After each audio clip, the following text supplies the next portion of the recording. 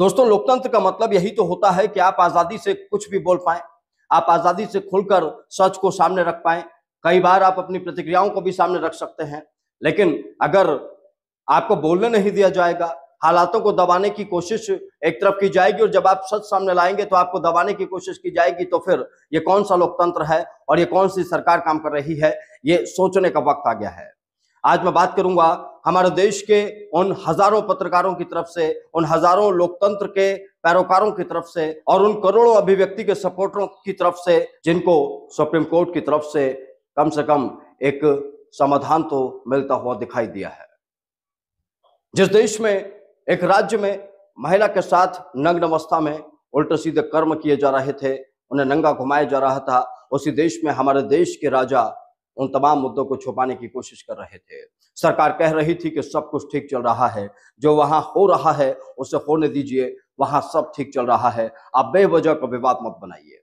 लेकिन इसी विवाद के बीच क्या हुआ?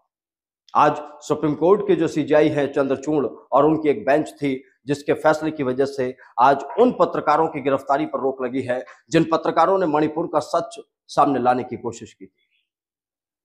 उन पत्रकारों का सिर्फ़ इतना कसूर था कि सेना के एक अधिकारी के फ़ोन पर उन्होंने मणिपुर के हालातों को जानने की कोशिश की थी और वो पत्रकार कोई छोटे मोटे पत्रकार नहीं थे, एडिटर्स गिल्ड ऑफ़ इंडिया के वो संपादक थे, जिनका एक बहुत लंबा अनुभव रहा है पत्रकारिता का। चार दशक से ज़्यादा का अनुभव उन पत्रकारों का रहा है और वो पत्रकार जब मणिपुर के हालातों को समझने और देखने गए, स्थानीय लोगों से जब उन्होंने बात की तो जो तथ्य उनके सामने आए, उसके बाद उन्होंने कुछ पन्नों की रिपोर्ट पेश की। इस रिपोर्ट के पेश करने के बाद ये समझ में आया कि कैसे वहाँ पर सरकारी सपोर्ट चल रहा है अन्याय करने वालों के समर्थन में। पता चला कि कैसे वहाँ पर नरसंहार चल रहा है, हालात बिल्कुल ठीक नहीं है। लोगों को कहते हैं कि शांति वहाँ पर मिल ही नहीं पा रही और इधर सरकार सिर्फ़ वाहवाही कर रही है। उनके खिलाफ पता है क्या साजिश रची गई? उन तमाम लोगों के खिलाफ मणिपुर से एक एफआईआर दर्ज कराई गई। और इस एफआईआर में कुछ तस्वीरों का ज़िक्र किया गया, जिसमें एक तस्वीर थी, जिसमें बताया गया था कि ये किसी का घर जल रहा है, लेकिन पता चला कि वो वन विभाग का दफ्तर था।